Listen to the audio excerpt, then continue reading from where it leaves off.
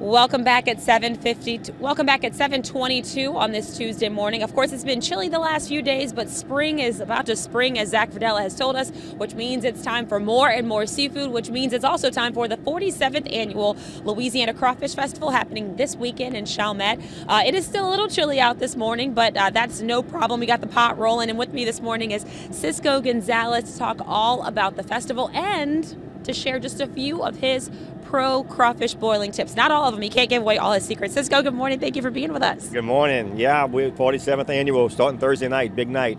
Uh, and something that to brag about, we actually uh, got awarded this year from Louisiana Fairs and Festival as the Festival of the Year. So we're celebrating a lot of celebrations. So talk about the pot a little bit, but um, can you keep a secret? I can. Can you keep a, Can you keep a secret? So can I. Okay, let's go. What's the secret then?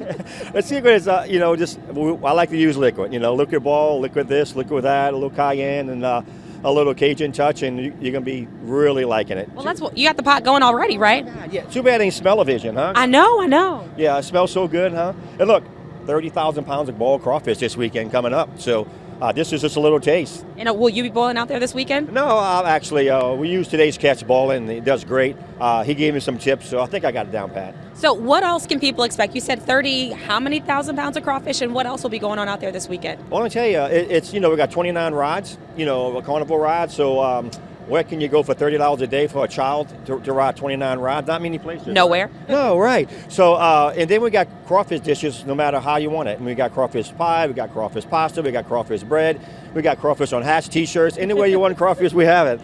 And you brought some friends with you over here too. Sorry, I sound a little hoarse, but who who are your friends you have over here with us this morning? This is our, our Miss Queen Abby, and our, our and my teen queen. Um, Atiana. I can't say that name for it's, some It's reason. really it's early in the morning, I understand. Yeah, it's a real area. Uh, and this is our, our, queens for the year. And, they, you, and look, they bring a lot of other queens there, so they got a lot of prettiness there. You know, not only this face here, but look at the beautiful girls we have here today.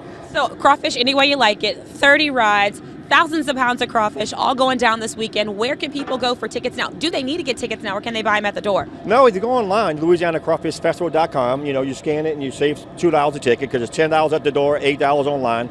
Um, and come on down. It's a great time. And, and where's it going to be? I didn't ask you that. In Chalmette, but where? Uh, 8245 West Judge Perez at the Fresh Segura building, uh, known as the St. Bernard Auditorium. All right, a lot of crawfish coming up this weekend and a lot of crawfish coming up this morning. You can see Cisco's pot just started. They got just the seasoning in right now.